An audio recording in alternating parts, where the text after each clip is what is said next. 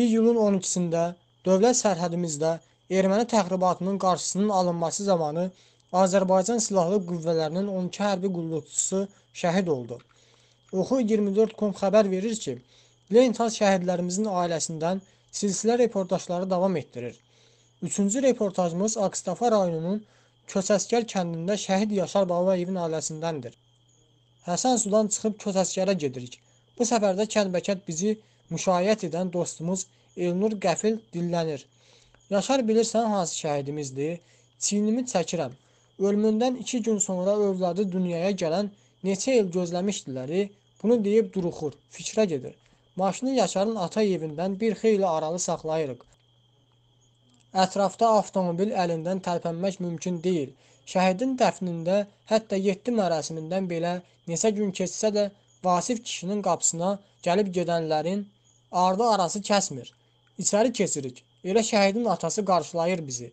Sizdən biraz qabaq getmişdi jurnalistlər. Elə onlara da dedim. Dedim dağım arxam getdi. Elə bir oğul getdi ki, elə bir oğul itirdim ki, gözlərini məsul bir nöqtəyə zilləyib susur, danışmır. Süfrəyə qoyulmuş sudan bir qurtum içir. Çətin də olsa, ailədə üç uşaq idilər. İki bacı, bir qardaş. Yaşar da dərslərini elə də yaxşı oxumurdu. Amma lap pis oxuyan da olmayıb. Mehriban uşaq idi. Elə uşaq vaxtdan çoxlu oyuncaq, avtomatları vardı. Hər dəfə də mənə deyirdi ki, ata, avtomat al, tapança al. Nə qədər belə oyuncağı vardı. Bəzən də özü taxtadan silah düzəldib oynayardı. Kənddə hamı çox istəyirdi onu.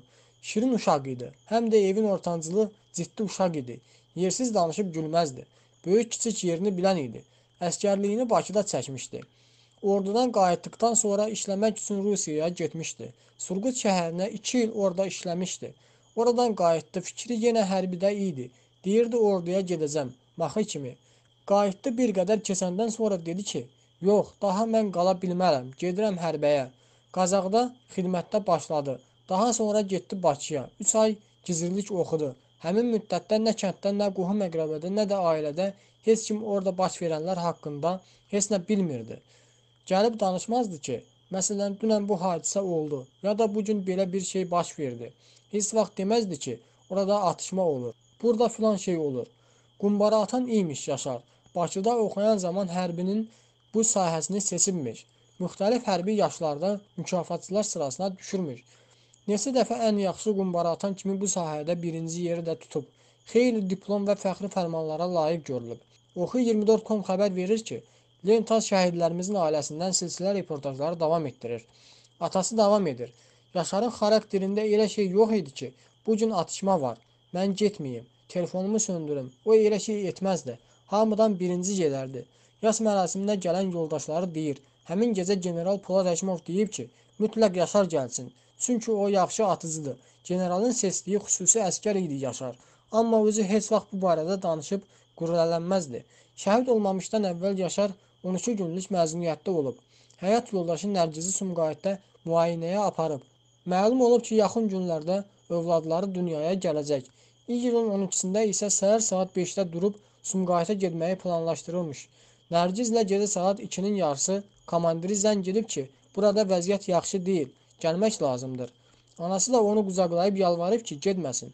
Onu dəhşətli dərəcədə sevirmiş. Amma anaya yox deyib. Ana, hamının övladı kimi mən də getməliyim. Heç kim saxlaya bilməyib onu. Qapıdan çıxanda anasına tərəf dönüb deyib ki, əgər mən gəlməsəm, uşaq olan günü qurbanı kəs payla, qızımın adını da Narin qoyarsınız. Elə yaş kağızına beləcə də yazdırın. Narin Yaşar qızı.